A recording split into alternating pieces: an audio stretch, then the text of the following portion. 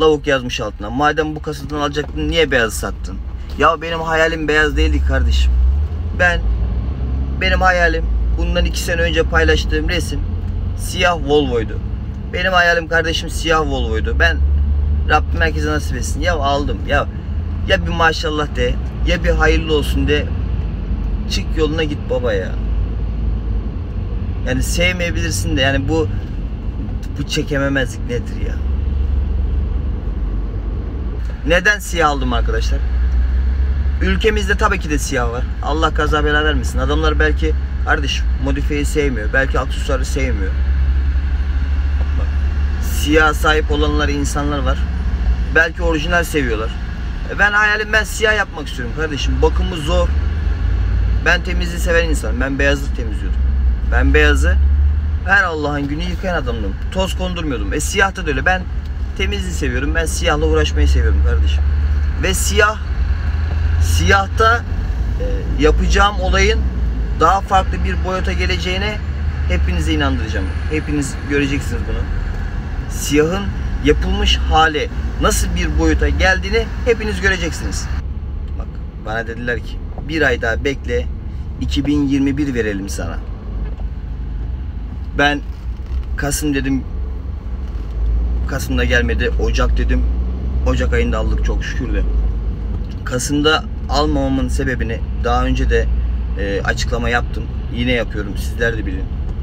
Dediler ki bekleyeceğin bir ay. Bir ay bekle bir model yüksek verelim sana. Tamam dedim abi. Sıkıntı yok bekleyeyim. Sonra bir sözleşme daha attı bana. Dedi ki Tanju 3 ay daha beklersen yeni kasasını verelim. Dedim abi ben söz verdim Kasım ayında olmadı mahcup oldum. Ocak ayında dedim. Eğer dedim şimdi 3 ay daha dedim uzatırsam abi bu insanlara karşı dedim benim bir irtibarım kalmaz. Bir itibarım kalmaz. Bu kelimeyi kullandım ve bu kasayı aldım. E şimdi diyorlar ki 3 ay daha bekleseydin yeni kasasını alırdın. E, Kasım dedim olmadığında böyle konuşmuyordun. Ocak dedim de böyle konuşmuyordun. Dün akşam resim paylaşmadın böyle konuşmuyordun. Şimdi bak şimdi beklerdik diyorsunuz anladın mı? Konu o değil kankacığım. Konu burada ben markayı sakladığım için e, bu sıkıntılar oluştu. Veyahut da bir tarih verdim olmadı. Hep bu sıkıntı yani bu sıkıntılarda ilerledik. Biliyorum. Yine size bir şey göstermeyeceğim. Parça parça değil de bitimini göstereceğim. Allah nasip ederse pazartesi günü teslim oluyorum. Pazartesi itibariyle başlıyorum. 3 gün, 5 gün, 10 gün bekleyerek değil. Pazartesi günü start veriyorum. Yola falan çıkmıyorum. Normalde yola çıkacaktım. Yolları özlemiştim.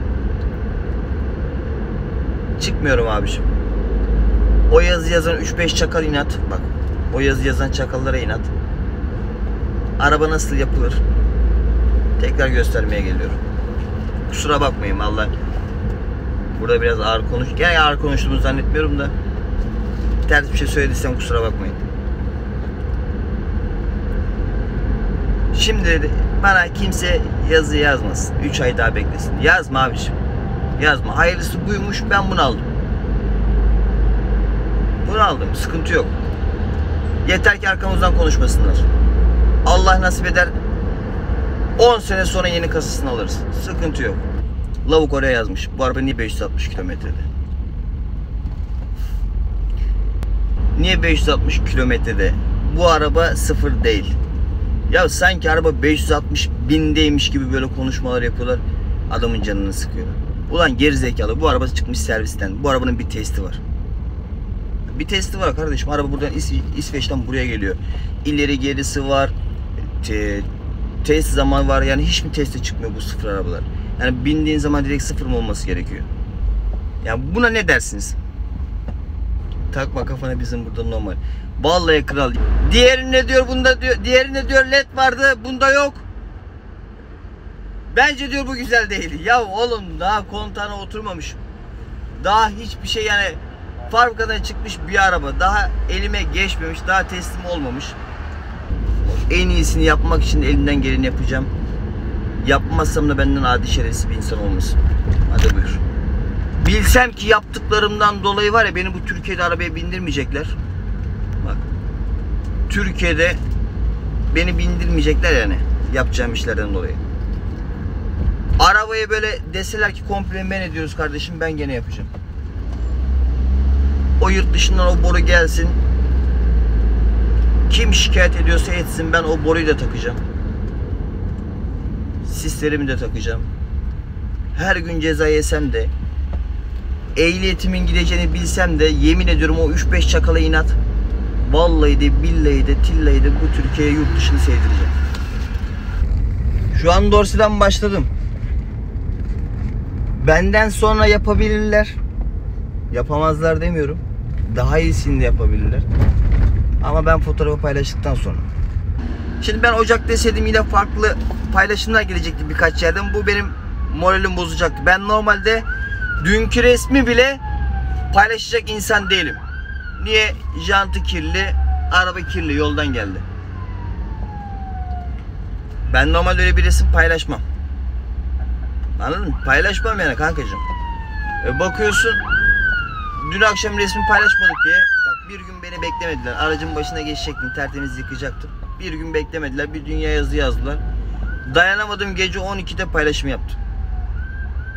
Bak dayanamadım gece 12'de e, bir tane çekicinin üstünde resim gelmişti arkadan başkasının çekmiş olduğu. E, Onu paylaşmak zorunda kaldım. Vallahi billahi hiç önemli değil. Yani resmin kalitesi olsun normal. Vallahi önemli değil. Yeter ki sussunlar, yeter ki arkamızdan konuşmasınlar. Konuşmasınlar ben bunu istiyorum ya. Herkes baksın dalgasına ya. Ben birilerinin hakkında konuşmuyorsam kimseye dert olmaya gerek yok ya. Bu dorsiyi bitirdikten sonra resmi paylaştıktan sonra ortalık karışacak. Daha bu bir şey değil.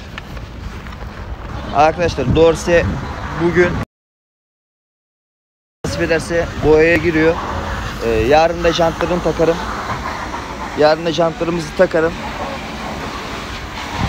Sonrası çekici bittikten sonra koş kalkulama giderken Takılmasın istiyorum biliyor musun? koş kalkulamada işleri bittikten sonra fotoğraf size atacağım. Şöyle bir şey. Kitleme yaptın mı abi? Şimdi yine bir tane bir tane şundan takacağım. Tamam. Küçük olsun. Az kalksın hiç önemli değil. Vallahi az kalksın hiç önemli değil ama Bu kadar kalk.